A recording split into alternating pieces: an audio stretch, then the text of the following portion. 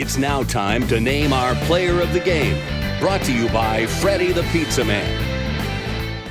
Crusaders looking to take a lead here early on. Johnson firing to the left side and scores. It's 1 0 Madonna with 23.35 to go. Take it back. It's Stokes who sees some speed down the middle. Defense popping out as well. Stokes getting by and scoring to the back of the net there. 5 to 2 with 14.50 to go.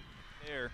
Emily Johnson weaving her way through and scoring again. It's an early hat trick for number double one, and just like that, it's a two-goal contest here with 12.50 to go in the first. Strong. Emily Johnson with a good beat. That one late cut to the left got her by, and she scores yet again. Already has four here today. Ferguson coming out to meet her. It doesn't matter though. Emily scores another.